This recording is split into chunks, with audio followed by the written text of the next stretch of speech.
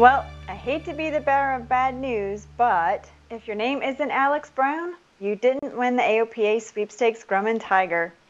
Alex is based at Petaluma Airport in California. Now, we lured him out to his hangar with the ruse that we were going to interview him about backcountry flying. And then. Oh, hey. What's your name? I'm Alex Brown. Nice to meet you. Well, Alex Brown? Yeah. You know, nice airplane. Thank you. You own two of them, though. I do own two now. Whoa. Whoa. what? No. Wow. I'm like blown away. Now you own three of them? I guess so. Shit. Oh, wow. Thank you. I can't believe it. Uh, whoa. I'm like in shock. Well, congratulations. What? Thank you. Yeah. Whoa. You're the, you're the winner. I can't believe it. this is like the first thing I've actually won. Well, Alex is planning to use the Tiger as a family traveling machine. He's been an AOPA member since he was 16. I would say that paid off. Now he'll be heading back to EAA AirVenture to pick up the keys to his new airplane. We're actually going to present it to him during our pilot town hall on Thursday at 11 a.m. So be sure to stop by our tent and be a part of that fun. Now, if you didn't win this year, don't lose hope. There's always the next sweepstakes airplane, and I've got to tell you, this one coming up is going to be my all-time favorite. AOPA's Kayla McLeod Hunt introduces the 2023 sweepstakes airplane. Hey, Kayla here, and I am so excited to announce the 2023 AOPA sweepstakes aircraft, this 1953 Cessna 170B. Over the next year, AOPA will turn this stock 170 into a fire-breathing backcountry beast. The airplane will undergo an engine upgrade from 145 to 180 horsepower. But of course, no backcountry airplane would be complete without a set of big backcountry tires.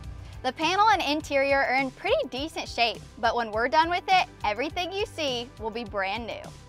The current exterior is pretty nice, but don't fall in love with it because this time next year, you won't recognize it with a brand new paint job. Good, everything's in the green, and she's ready to fly.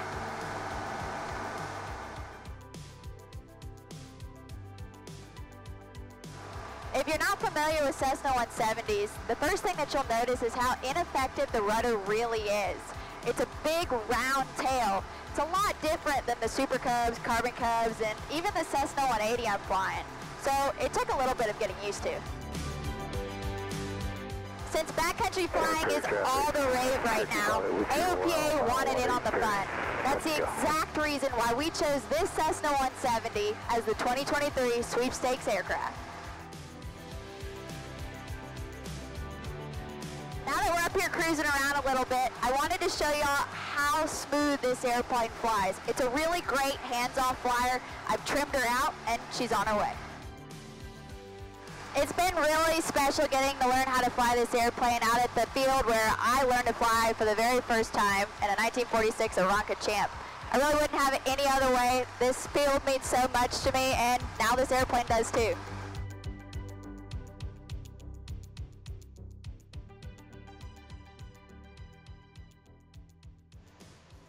All right, well, Kayla is joining me now. Kayla, I'm so excited. The cat's out of the bag. It's a Cessna 170, my favorite airplane. I also own a stock 1953 Cessna 170B, so thrilled for this project.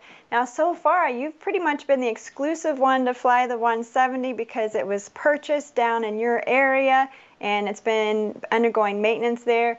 So tell me more. We saw a little in the video. What do you think about how it flies and, and the sweepstakes focusing on backcountry? Yeah, well, the 170 is an awesome airplane. It took a little bit of getting used to. I have the majority of my time in Super Cubs, Carbon Cubs, and that Cessna 180 I was talking about. So it performs a little bit differently. It's definitely a lot less powerful. Um, the rudder isn't as effective at the slower speeds, but it's still an all around great airplane. I love how it flies. It's smooth, it's fun, and I can't wait to see all the process, all the progress that we make over the next uh, couple months and the coming year. Hey, Kayla, we were talking the other day. I understand you've been getting a little bit of flack from 170 lovers over your comments on the rudder, right? Yeah, I've been getting a little bit of flack from the 170 community about the ineffective rudder that I talked about. Um, I wasn't specific enough, I guess, but um, yeah, it's really just, it, it takes some getting used to it, the slower speeds, especially taxi, takeoff, and landing. But it's a really great airplane, and I don't discount the airplane at all just because the rudder isn't exactly what I'm used to.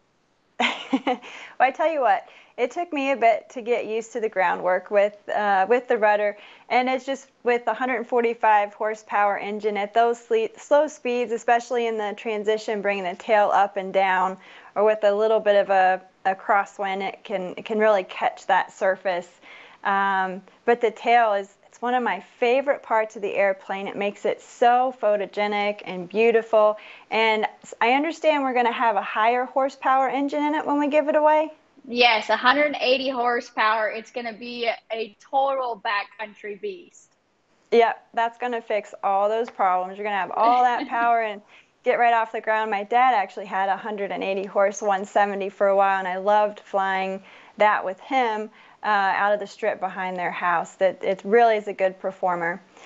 Now, Kayla, we debuted it on social media. How else can folks follow us along? So, over this coming weekend, actually, the airplane will be making her way up to EAA AirVenture Oshkosh in Wisconsin. So, if you want to stay up to date about um, the trip up to Wisconsin, definitely follow us at Fly with AOPA on, AOPA on Instagram.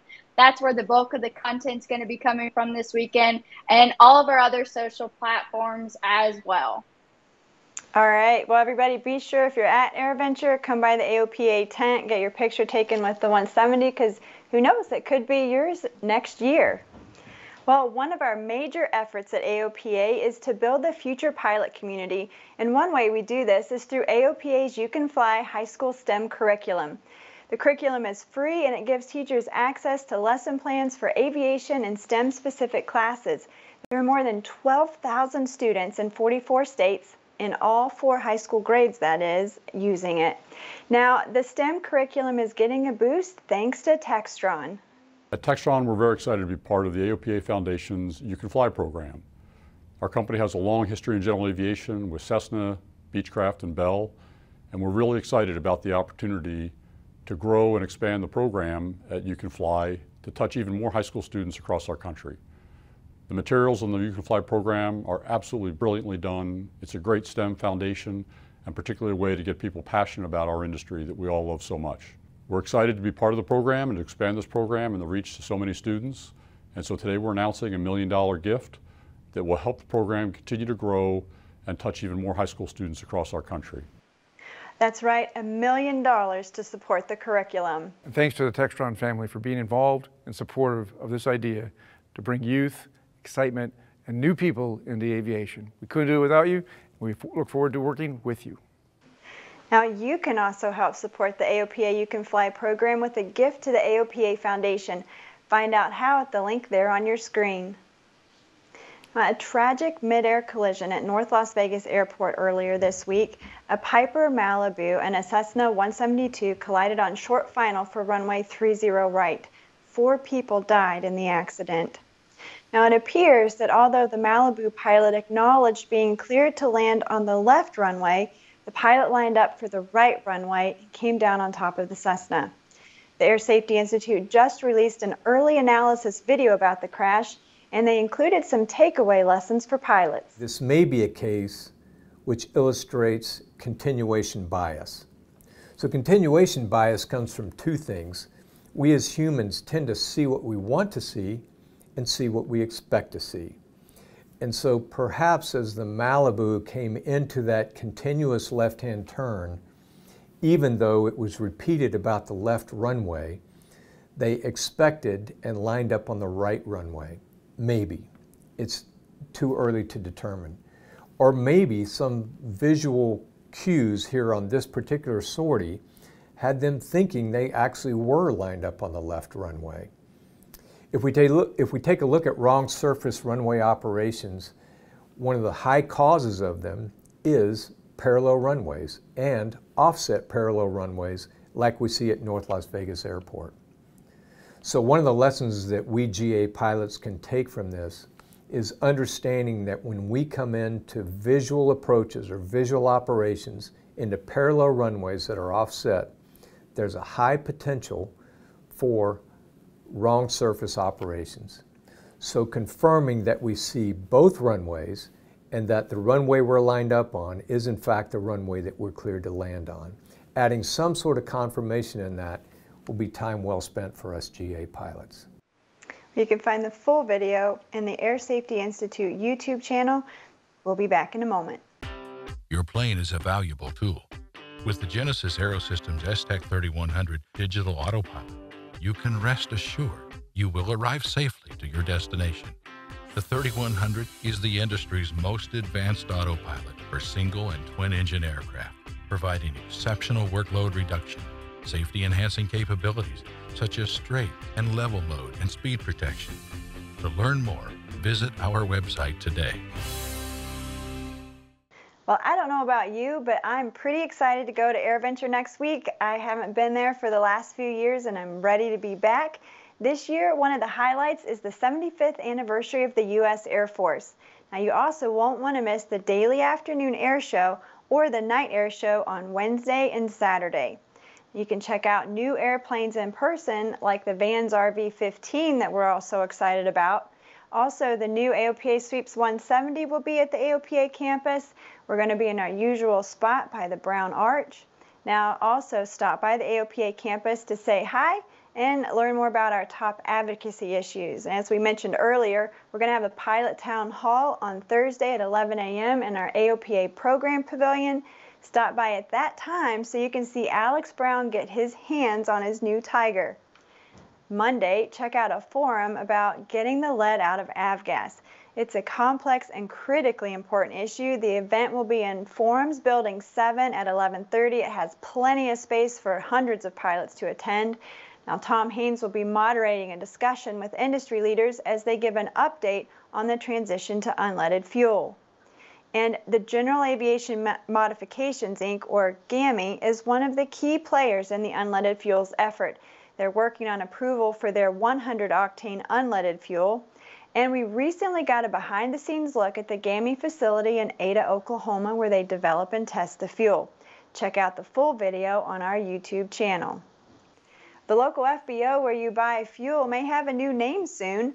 Atlantic Aviation and Ross Aviation just announced a business merger and acquisition. The newly combined company will operate under the Atlantic Aviation name. Atlantic now represents more than 100 FBO locations across North America. The announcement also included the acquisition of three former TAC Air facilities, one in Omaha, Nebraska, one in Raleigh, Durham, North Carolina, and the other in Hartford, Connecticut.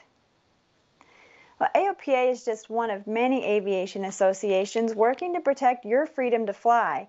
And now we have a new program to partner with other aviation associations. We're calling it the Alliance Program. It's designed to cross promote groups that have mutually beneficial goals for the aviation community. Now, AOPA is introducing this initiative with the Antique Airplane Association, or AAA. Associations like AAA are a critical part of the general aviation fabric, but many pilots and aircraft owners just don't know about them. The AOPA Alliance program will support these organizations through a dedicated web page on AOPA.org and exposure in AOPA print, online, and video channels. The AOPA allied organizations will in turn educate their members about AOPA's missions and initiatives through their websites, channels, and events. So it's a win-win for everyone. Well, if you're interested in becoming commercial airline pilot or charter pilot, you're probably working toward that magic number of 1,500 hours. That's the number of hours required to fly for an airline, and there are a lot of ways to build hours. Many pilots instruct. But this week on our YouTube channel, we have the story about a pilot in North Carolina who flies skydivers in a Cessna 182 on her way to the flight deck of an airliner. Um, my name is Abby McCain and I'm a jump pilot. It's probably the most fun job I will ever have. The most rewarding part is um, helping people check these super big things off of their bucket list. It's super amazing to see the reactions and um, just the excitement that is brought to every single day. I think the most challenging part is just the, the go, go, go mindset, especially when the schedule is all filled up. You could be moving from sunrise to sunset, which can be quite difficult. I'm looking to maybe move on to some sort of multi-engine opportunity to finish my time building. Um, and once I have my ATP requirements, I'd love to look into a charter company or an airline um, opportunity. So we'll see. Well, Abby learned to fly jumpers at a school specializing in jump pilot training called Jumpers Away in Southport, North Carolina. You can find the full video on our YouTube channel. Well, that's all for this week. I hope to see you in Oshkosh next week. I'm Jeff Owen. I have about 1,300 hours. I have uh, ratings single engine land, single engine sea, multi-engine land, tailwheel endorsement.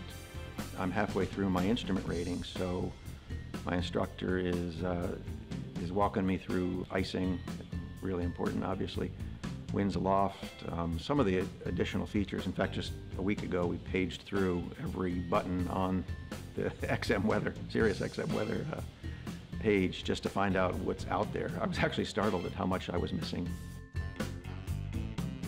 Well, I like that uh, it's accessible on the ground. It's great for flight planning, especially in a slower airplane, um, even in the AirCam. Uh, just being able to access and plan on the ground before you take off is a big plus for me.